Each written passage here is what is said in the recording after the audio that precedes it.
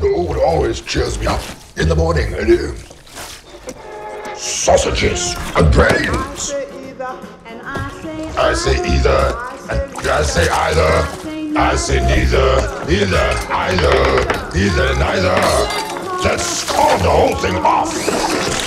Ouch! Ouch! Ouch! Ouch! Ouch! Potatoes. I like tomatoes. And I like tomatoes. Potatoes. Tomatoes. Tomatoes. Tomatoes. Let's call the whole thing off.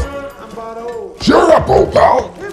But no, if we call, we call the whole thing off, then we must part. That's for you.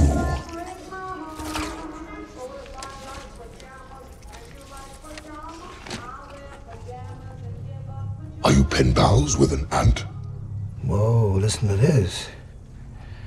Dearest Pally Pal, I hereby invite you to witness my demise, my final moments on this spinning shit wheel that we call Earth. You are responsible for bringing about the end of Cletus Kasady. It's only right that you hold the door for me on my way out. They'll stop my heart, just like it stopped at my birth. What if Cletus Kasady had never been revived? He would never have pushed Grandma down a flight of stairs.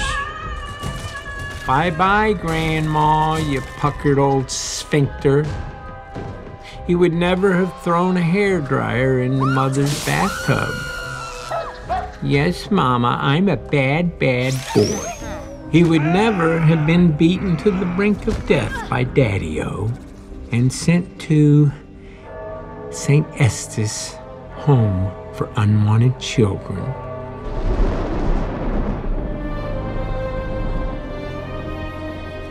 That circus of hell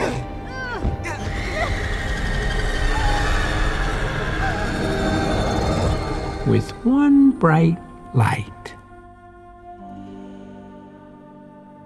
Oh, Eddie, we are all born into this world through blood and pain. Every hero has an origin story.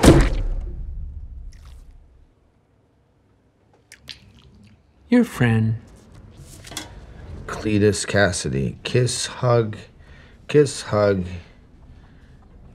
Smiley face. Oh, Nut job. you know, I, I should be there.